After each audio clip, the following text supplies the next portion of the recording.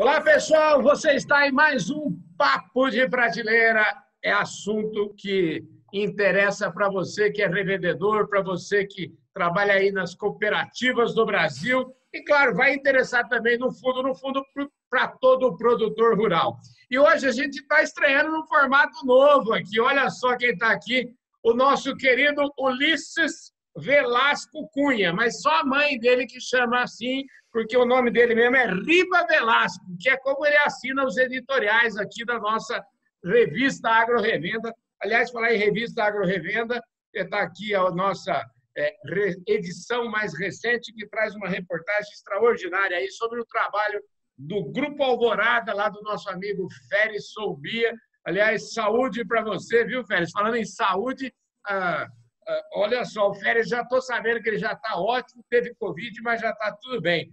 Ô, Ulisses, é o seguinte, para estrear esse novo formato aqui do Papo de Prateleira, aqui em dose dupla, nós vamos buscar um caboclo da prateleira de cima, lá o André Corsini, que está aqui, já está aqui com a gente. O André, obrigado pela sua presença aqui no Papo de Prateleira, viu?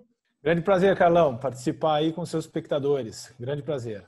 E é o seguinte, o, o, o Riva, é, você sabia que o André é o seguinte, ele é engenheiro agrônomo, formado lá na Exalc, então, portanto, você sabe que formou na Exalc é prateleira de cima, você não precisa nem. Não, ele não, não dá cuidado, esse... não dá cuidado de jeito nenhum. Aí eu estou aqui perguntando para ele, além de formar na Exalc, ele também trabalhou na FMC, na FMC, na FNP, FNP que é do nosso é, querido Maurício Mendes, que é meu amigo de longuíssima data, a quem eu quero mandar um abraço e trabalhou também lá com o Vitor Neme, enfim, com aquela turma da prateleira de cima mesmo. Então, ele tem um pedigree extraordinário.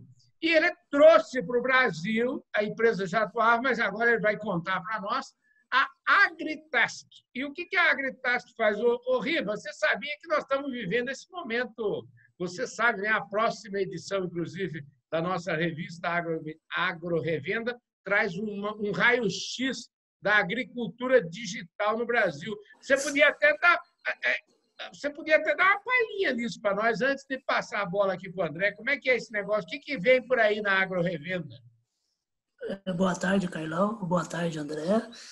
Relembrando a, a, quarta grande, a quarta grande qualidade do André, que é de Ribeirão Preto, né? Que nem eu sou também. então tem mais uma, né? É de Blackstream, que nem a gente. É, é, saudações, eu, André, por participar do, do Papo de Prateleira com a gente. A ideia foi, foi a seguinte do material. Primeiro, que assim, a gente a gente está vivendo num universo, num, num tsunami digital, na verdade, né? a tecnologia, vários tipos de tecnologias já são utilizadas por diversas empresas e também pelo agricultor no campo, né? Termos de aplicação, controle de produto, é, checar realmente qual área está precisando de proteção, qual não está, então isso já é uma realidade. Só que a, a realidade digital é uma realidade, ela é assim, ela não cabe direito na nossa cabeça ainda porque é um mundo, o Big Data é uma coisa parece do tamanho do universo, né? E a gente é um grãozinho de areia, é um grãozinho de areia, a gente tem que entender que pedaço desse universo cabe direitinho no meu negócio, né? é viável para mim e vai fazer ter um negócio que dure durante muitos anos. Né? Então é esse, essa é a ideia do material da revista, né? é falar que vai dar trabalho para você optar, para você fazer a escolha certa, mas existem caminhos para você trilhar e ir nos lugares mais corretos para adequar o seu negócio àquela oferta digital que existe no mercado. Né? Então, a ideia é procurar assim, desesperar um pouco menos né? o, o agronegócio. Né? Tem lugares que já, já são bem mais já são bem mais descolados para trabalhar nessa área, que é gente ligada, por exemplo, a, a questão de armazenagem, já existe questão de logística utilizando né, aparatos tecnológicos já há um bom tempo. Aí a agricultura também usa, mas ainda tem um caminho gigantesco para saber exatamente como é que a tecnologia pode ajudar. Então essa, essa é a ideia do material para da próxima edição da revista Agroevento. Maravilha! E por falando nisso, a gente já adiantando o assunto, nós vamos buscar lá o André Corsini, que ele é o diretor-geral no Brasil da Agritask. O André, é o seguinte, boa tarde, bom dia, boa noite, porque aqui o pessoal vem tudo quanto é horário. Então, eu queria saber o seguinte, você. Me conte a sua história um pouquinho aí, fala para nós como é que você chegou na Agritask e conta um pouquinho a sua trajetória e depois vamos entrar nesse assunto de tecnologia, que é o assunto, é a bola da vez. Tá certo, obrigado. Vamos voltar um pouquinho então no tempo. Eu sou formado na Exalc, né? Até por acho que coisa de família. Minha família é do pai da minha mãe de Ribeirão Preto, meu avô era exalquiano, formado na década de 40. E foi influência, né? Então eu eu fiz Exalc e depois acabei acabei indo mais para a parte de agrônomo de escritório, né? E, e fiz, fiz pós-graduação na GV, na administração da GV em São Paulo. E eu acabei caindo para trabalhar com o nosso amigo Maurício Mendes, né? Que apostou em mim, no talento, o Maurício, e fui trabalhar com ele para a FNP, tá certo? É, fazendo o agranual, que é o anual PEC, né? Uhum. É bastante conhecido. Eu depois acabei tendo uma tendo uma, uma oferta, né? Eu tive ou ia para Monsanto ou ia para para Mafre, e o desafio da Mafre era bem interessante, porque era montar o seguro rural no Brasil. Então eu com o meu grande amigo ah, Miguel Corrales é, montamos isso ao longo de quatro anos na Mafre, uh, todos os produtos, e depois montamos toda a parte de comercialização.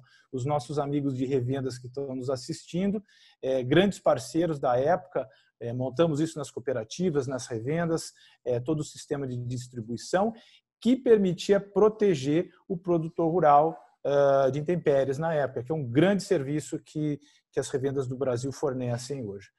Depois eu acabei saindo de uma trade, fiquei um ano de commodities e recebi uma oferta do Banco Santander, no qual trabalhei praticamente 10 anos eh, da minha vida em várias áreas, né? Passei lá pelo Banco de Atacado, pela área de produtos, área de investimentos, de grandes investidores, enfim.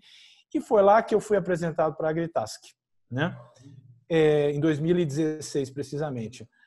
Eu notei na Agritask uma capacidade que poucas empresas têm de se adaptar à necessidade do cliente. Isso a gente viu, eu fui gestor de produto lá no banco, era tão difícil lidar com a tecnologia inflexível, e eu vi uhum. esse atributo muito interessante e vi que o que a Agritas estava fazendo era o futuro. Né? Apesar de ter vindo vender para o banco naquele momento, eu achava que estava mais adaptado para a necessidade do produtor. E eu acabei deixando o banco e recebi um convite para fazer desenvolvimento de negócios da Agritask. Fiz isso durante dois anos e, e disse ao pessoal lá em Israel: pessoal, grande oportunidade, mas temos que abrir subsidiária no Brasil, porque nós temos que estar próximo dos clientes. E aí nós abrimos no ano, no ano de, do ano passado a subsidiária, montamos equipe, temos uma equipe comercial, temos uma equipe operacional para estar com, com o produtor e os nossos parceiros de revendas e cooperativas durante a venda e depois da venda, né? no ciclo pós-venda de implantação, experiência da solução e foi assim que eu acabei caindo no fim na, na Agritask. Carlão e, e Riba. Agritask, é, na verdade, é um software, né? Eu queria que você definisse um pouquinho e como que, como que, como que os nossos é, pessoal da distribuição, como é que o pessoal aí das cooperativas pode se beneficiar com esse produto, com esse serviço da Agritask e que é que consiste, né? Hoje a gente fala, né? A gente só está falando, como disse o Riba, aí o Riba fez uma fotografia da agricultura, ainda parece um é um é um mundo é um mundo de informação, mas é coletar, entender, processar e mandar de volta para o campo a informação. Eu queria que você falasse um pouquinho da Agritask aí, de como que isso de como isso é, se encaixa aí com os nossos distribuidores. Sem dúvida. É, mas é isso mesmo, você resumiu muito bem é, o conceito. Né? É, na realidade, o, se você for olhar na cadeia do agronegócio, o produtor está no centro da cadeia. Né? Você tem uhum. quem, su, quem supre o produtor, para quem ele vende, até chegar no consumidor final, e os agentes apoiadores, né? que é governo, é, seguradora e finanças. O que, que nós começamos? A Gritas começou focada no produtor, desenvolvendo solução para quê? Uma plataforma digital, que nada mais é que um software, que fica na web. Você acessa via um login na web. E tem também uma parte de aplicativo que você usa no dispositivo móvel, seja ele no celular ou no, no tablet. É a forma como você acessa. Começamos com o produtor, né? gerando o serviço para gestão do ciclo produtivo do, do, do, da, de produção. Começamos focados, na, na verdade, na, na parte de praga e doença. A empresa expandiu isso para todo o ciclo de produção. Então, hoje, a gente faz a gestão do ciclo desde o início lá, é, avaliando a fertilidade do solo, né? manejo do solo, até o final no pós-colheita, tá certo? Inclusive com controle de suprimentos. Uh, e nós diferenciamos isso para o médio e para o grande, é, grande produtor. Derivou disso algumas outras soluções, que, de novo, na cadeia. Então, hoje a gente faz a gestão da cadeia. A gente tem uma outra solução para a indústria, principalmente a indústria de alimentos, né, a indústria que compra do produtor, no qual ela está interessada em é, é, é, controlar a qualidade, quantidade e ter previsibilidade do fornecimento, que afinal de contas ela tem que regular o suprimento do mercado fornecedor e o, o destino final. É, né? Ela está no meio ali, ela tem que regular isso. Então, isso é o que é o grande interesse da indústria e a gente faz esse rastreamento desde a origem até a, a, a, fábrica, a processamento da indústria, incluindo alguns aspectos de socioambientais, de, de, eh, de certificação, etc. Também derivado disso, nós pegamos o pequeno produtor para lá para, para, para, para governos e instituições e também serviços especializados em gestão de risco para as seguradoras e para os agentes financeiros. Então, eu diria que nós temos quatro soluções. Onde que a gente olha pelo lado da revenda e da cooperativa? Ele está próximo, está do lado do produtor rural. Então, eh, a nossa solução para as revendas, na verdade, é estar junto com eles oferecendo esta solução. Por quê? Porque a cooperativa e a revenda sempre foram agentes indutores das melhores práticas, né? Para os pequenos e para os médios. É um excelente trabalho que vem sendo feito há muitos, há décadas, por, pelos nossos amigos das revendas. Hoje a gente pode modernizar o jeito com que a gente proporciona, proporciona a consultoria técnica no campo da nossa equipe da revenda. Né? A gente traz um serviço de agilidade, agilidade, melhor controle, que é através da plataforma digital. Então hoje a gente adapta o nosso serviço para uso da revenda, tá certo? Na prestação de consultoria técnica para o, o, o, seu, o seu cliente. Outra forma é você avaliar aquela recomendação que a revenda né, é, ofereceu para o produtor. A recomendação, seja ela de eh, pacote tecnológico, semente, fertilizante, defensivo, a gente consegue avaliar a performance desses produtos né, e a estratégia de aplicação, né, que envolve melhor performance, envolve redução de custo, atacar realmente, diagnosticar exatamente quanto tem no local que precisa ser aplicado e sendo mais uh, amigável com o, ambiente, o meio ambiente, porque hoje é, isso é uma, uma regra. Né? Hoje a gente tem que maximizar, eh, otimizar o uso de qualquer, um, de qualquer produto que a gente usa na agricultura. Né? Uh, então é assim que a gente trabalha com, com as revendas, que são os nossos parceiros, para trazer essas soluções para os produtores. Eu citei duas formas né, para as revendas, mas tem mais algumas outras aqui. É, eu queria saber assim, hoje quem já atua de revenda e de distribuição, qual é o perfil desse cabra? Que é para a pessoa que está lá, tem a sua loja, tem a sua distribuição, saber assim, poxa, será que eu tenho o perfil do serviço que esse pessoal está tá prometendo me entregar? Não tem assim um perfil, porque você tá, o perfil é do produtor, né? Então você tem uma, uma nós temos duas maneiras de, tá. de oferecer. Uma é para o grande produtor. O grande produtor a gente faz a venda direta através da nossa equipe porque ele não é um, ele normalmente não é geralmente atendido pela revenda, ele é parcialmente atendido, né? Ele acaba discutindo mais com a, com a indústria diretamente. Direto. Então a gente faz, a gente tem uma equipe comercial é, para vender diretamente para o público dos grandes produtores e do médio, médio, médio grande é, até o pequeno, aí a gente faz esse trabalho via a, as revendas, tá certo? Evidentemente que para o grande a gente customiza bastante a solução. Para o médio, a gente tem algumas, alguns pacotes de soluções, que é mais fácil entender, mais fácil aderir. Então, é dessa maneira, não é exatamente o perfil é, da, da revenda. Né? Agora, a revenda, a gente pode ter revenda de insumo e revenda de máquina, as duas. Tá? A revenda de máquina, normalmente, ela está mais interessada em ver a operação, associar a operação é, mecanizada com alguns fatores que ocorrem no campo.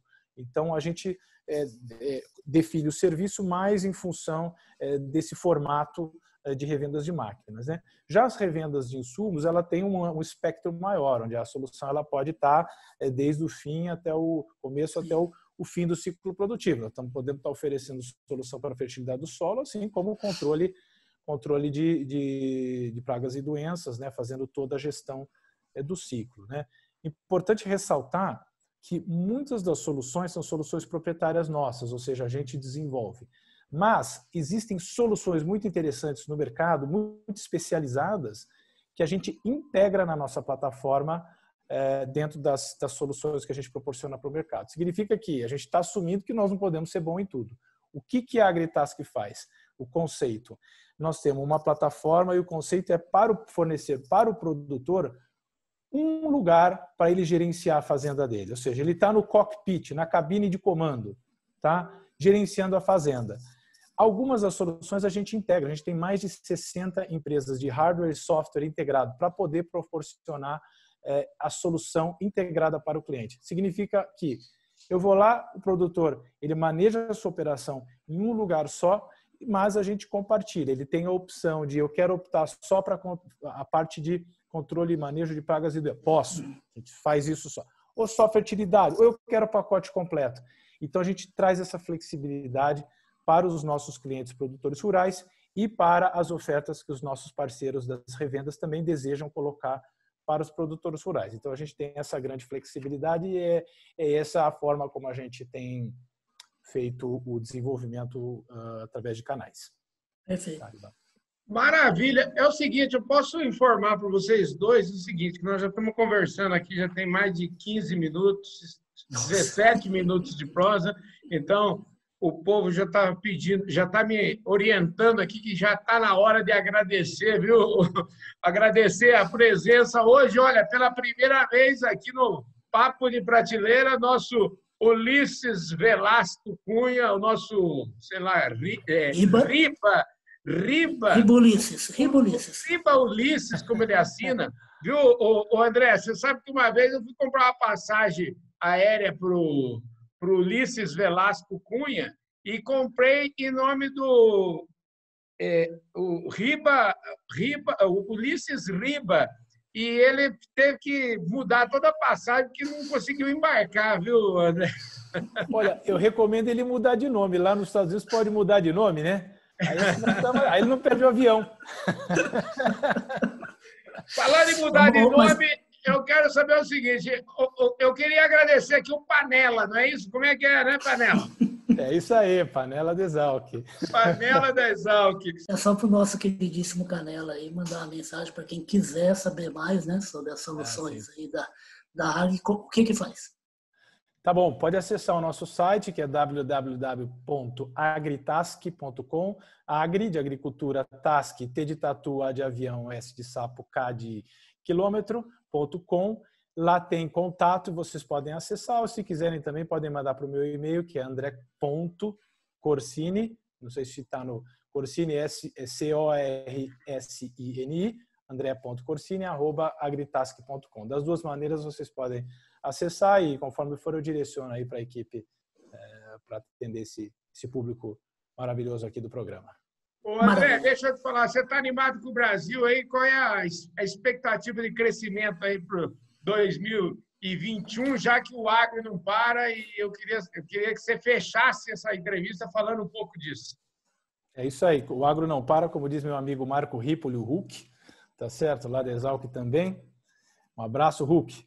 E, enfim, nós, é, na verdade, nós temos uma expansão comercial para o ano que vem esperada, tá certo? Nós estamos hoje com equipes é, Mato Grosso, Bahia, São Paulo e Minas Gerais. Nós vamos expandir para outros estados, apesar de estar atuando já em Paraná e Santa Catarina e Maranhão, enfim, outros estados. Nós vamos colocar presencialmente o time comercial e o time de pós-venda operacional no campo.